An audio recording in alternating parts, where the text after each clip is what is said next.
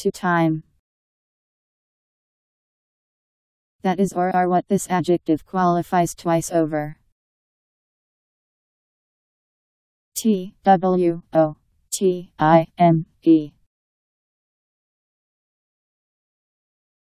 Two-time.